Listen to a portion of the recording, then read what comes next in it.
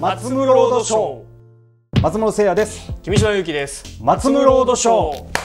えー、ごめんなさいままだブレ決まったばっかりで。なんかななんかやった方がいいかなと思ってなんかこうカチンコのイメージをやったそうそうそう。打ち合わせがないからこれの。今日はですね、はい。こちらの映画。ドン。エルビス。エルビス。最高です。いやーよかった。いやめちゃくちゃ良かったですね。あ僕はねはいよかった。いや本当に。僕も良かった。いやそれをもうひなんかわけわからず否定してしまうぐらい よかった。簡単に言うともうはい。皆さんご存知のエルビス・プレスリーの,、まああのまあ、電気映画っていいんですよね。でまあ彼の音楽に目覚めたところから、えー死に至るまで、はい。でそこにずっといたあーパーカー大佐っていう、まあ、マネージャーというか、エージェントというかがあーずっといたんですがその2人の関係をメインで描かれるんですが、まあ、監督がバズ・ラーマン。バズラーマンいいですよムーラン・ルージュとかギャッツビーとか。カレナル・ギャッツビーとか。ロミオ・ジュリエットそうですよね、まあ、だからもう本当に純粋な結構ミュージカル映画をね、うん。撮られてる。ギラギラで編集キレッキレのミュージカルが得意な方ですよ。が今回そのエルビスの、まあ電気映画をやるっていうので、まあ、もちろん予告編からはすごそうやなと。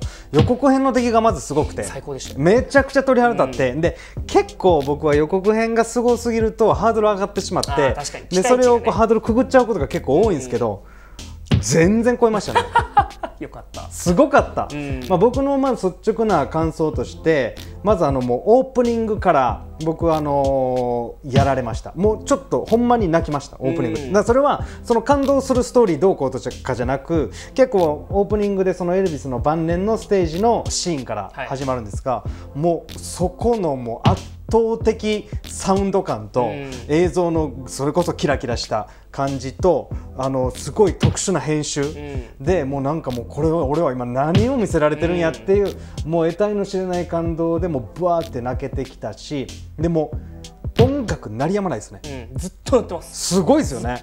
でそれもだから僕は結構そのあのここ最近ね「ボヘミアン・ラプソディ」とか、はい。えーロケットマン」とかロケットマン。ね、はいそうエルトン・ジョンのね。でこの2つも素晴らしかって電気映画を結構重点的にやりながらあ音楽シーンも入れていくっていう感じだと思ってたんですがなんかそれをもう一個上に行ってる感じがしてなんか本当にずっと音楽。でもこれこそもうミュージカルやんっていううん。感じのあの印象があってポイントポイントで結構2時間20分でまあまあしっかりあるんですけどポイントポイントでもうちゃんとこうなんか背筋ピンとさせるシーンがもうどんどんちゃんと。悲鳴がめちゃくちゃ多いですよね。あれがねもう飽きさせないし、うん。もう最後見終わった時ちょっと疲れるぐらい。あ確かに。ぐったりするぐらい あのずーっとなんかエンターテインメント浴びてますみたいな感じがあって、あとはまあその主役のオースティン・バトラー、うん。他ってどういうの出てたんでえっすか、と映画だと多分「Once Upon a Time in ああ Hollywood」であのブラピにボコボコにされるテックスっていうあ馬乗ってたイケメン、はいはいはい。あれがオースティン・バトラーあですそうなんや。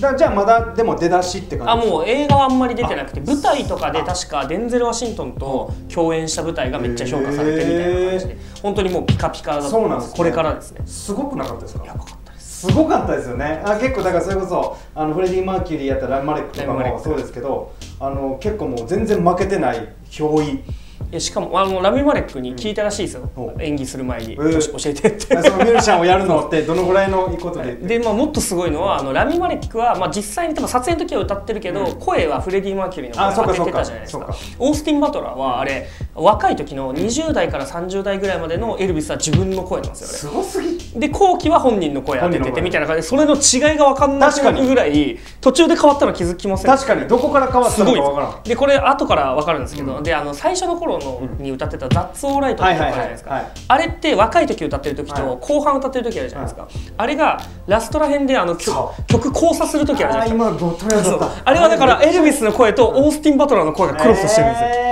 でプラスプラスあの黒人ねそうそうそうそうあれめっちゃであれもね3人の声があのシーン天才あれ最強ですよね。びっくりしたあれ。ああこんな発想あるんやと思って、うんあでも声も若い時のエルビスはやってるんですよやってますやってます。すごすぎ。あの俳優さんはもう今後安泰ですね。売れてほしい売れてほしい。いや爆売れでしょ。ね、普段からなんかあのインタビュー動画とかもめっちゃ見あさったんですけど、うん普段から声めっちゃ低くてかっこいいんですよね。ああなるほどね。あーじゃあもう結構あのポテンシャルがちゃんとあってやってるすごかった。ほんでパーカー大佐エルビスとずっと一緒に、うん。えーやってるマネージャーがトム・ハンクス。トム・ハンクスね。俺トム・ハンクスって当たり前のように見てたし、うん今まで、うん。で今まですごいなってもうなんかすごいなんても思ってなかったですよ、うん。当たり前すぎて、うん。トム・ハンクス。でもやっぱすげえな。しかも悪役が珍しかったですよね。そうそうそうそうです、だから今回いわゆる、まあ、そのプレスリーがあー稼いだお金を結構大規模に搾取してた、うん。でその死んだ後の裁判でなんか明るみになった、う。ん。でそれをまあ結構描いてるんですがこんなん今更言ったら怒られるかもしれんけどトム・ハンクスってめっちゃ演技うまい。本当に今更ですねそれ。いやもうなんか改めて思った、あれはすごいなと思います。しかもパッと見トム・ハンクスって分かんないですよね。あれなんあれ実際に太ってるんですかね？えっとあれ特殊メイク。あやっぱそうですよね。えっと56時間かけて、頭ハゲさせてあの太らせてやってるらしくて、まあ、でもトム・ハンクスってなんかもうアメリカのいいおじさんみたいはいはいはいはない。イメージのはい。映画ばっかり出てるんで、もうなんか僕一緒に見た人とか、最後に「えトム・ハンクスってだあのエンドロールいたけど誰?」みたいな言われて「えーいやいやいたよずっと」ってそれすごいな。っていうぐらいだから、まあ、それ演技がうまいのと見た目が全く違ったっていうのでもうでも役者としては一番嬉しいですよね。あそう確かにね。え出てたのななりきれ出たってね、うん。うんまあ、僕はだから本当にあのここ最近のね「ボヘミアン・ラプソディ」とか「うん。ロケットマン」とか、うん。結構まあすごい水準で好きなんですよ、うん。でも僕はエルビス結構一段上かもって思うぐらい素晴らしかったです、うん。君島さんどうでしょう？いやまあ僕も今喋りながら大体言っちゃったんですけど、はい。まあ、僕もともとエルビス結構好きで。そうですよね。そうですよ。エルビス・プレススリーすごい好きだったんでエルビスのことも結構知ってた上で見たんですけど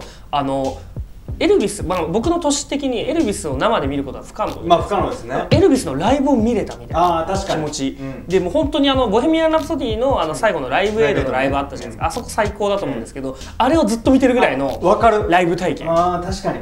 うずっと浴びてましたよねエルビスを。浴びてた。それがもうすごい良くてっててもマジで鳥そうなんですよねでまあ声さっき言ってた声のオースティン・バトラーの歌声も良かったし本人の歌声が途中でクロスするのも良かったんですけどあの途中でテレビの番組のシーンとかあるじゃないですか、あれとかってあの実際のテレビ番組のあの画角とか、あのカメラ切り替わる瞬間とかもめっちゃそのままやってるんですよ。ええだから再現度もすごい高いのいやまあでもやっぱそのエルビスまでなると世界中にコアなもう熱狂的なファンが今もいっぱいおって、うん。やっぱそこを中途半端にやることができないっていう感じなんですよ、ね、だからもう多分リサーチにめちゃくちゃ時間をかけてるんだなっていうのが分かるぐらい。僕もなんかそのテレビ結構有名でそこでエルビスがまたふ人気になったみたいな大事な番組なんでなんか YouTube とかで見たことあったんですけど本当にまんまで。え？みたいな。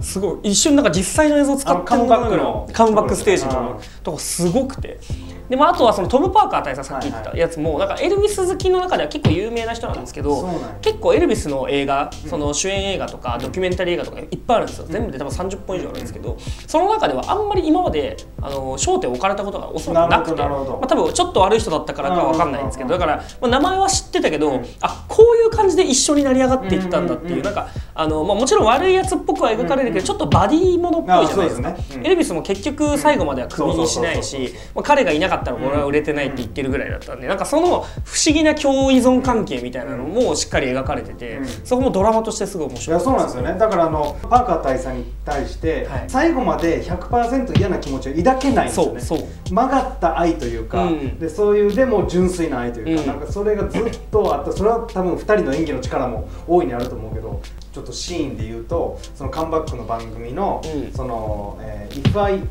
Dream」ドリーム、はい、あの曲のあのシーンはやっぱすごかったな、あほんまにこの歌でこの瞬間にエルビスはカムバックしたんやってちゃんと説得力があった、説得力ありましたね。しみじみ。いやほんまにすごかった。僕結構なんかそのまあいい映画見て、はい。あの感動してすごい良かったっていうのを今年のやってからもいっぱいあったし今もいっぱいあったけどなんかこのちょっとそれともまた違うなんかもうほんまにさっき言ったあもう浴びまくって、うん。もうなんかあのから細胞にバンバンなんか打ち込まれた感じの、まあ、それがまあその音楽っていうのもあるやろうしやっぱプレスリーっていうのは後のねその後のビートルズであったりとかいろんなものに影響を与えてる本当にもう根源みたいなもうロックンロールの始祖みたいな人ですからね。だからその人のこのあのシーンをなんかこう追体験できたみたいな感じで、本当にライブを見れた感じでちょっと僕はなんかあの立ち上がれない感じ、うんもうあの見終わった後感動で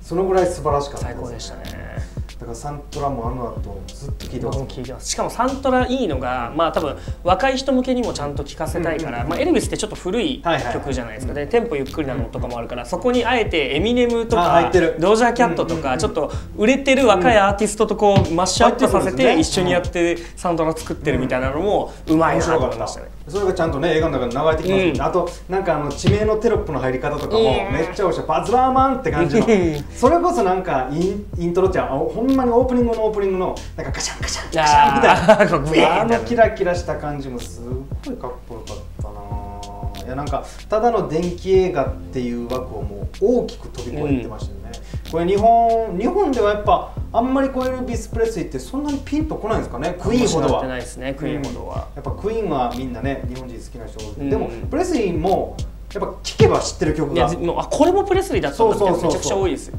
映画まとめてこうねいい映画っていうのはいろいろ今までもいっぱいあるけどで今回もちろんそうなんですけど一個一個のシーンが結構鮮明に、うん。多分今後もずっと頭に残るやろうなと思いましたね、はい素晴らしかった。素晴らしかったですね。星3つ。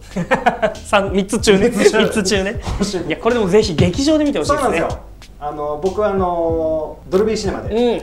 間違いな見に行いって、最高じゃないですかドルビーシネでやっぱすっごいですね、うん。おもうこんな大きい音と思って。マ そうだから IMAX かドルビーシネマとか、そうですよね。でかくて派手なスクリーンで見た方がいいですよ。いやすごかった。いやもうぜひ皆さんね、はい。劇場で。劇場で。これはもう見ていただきたいなとはエルビスについてお話しました。この動画がちょっとでもいいと思った方はチャンネル登録そして高評価ボタン押してください。ここら辺です。うん。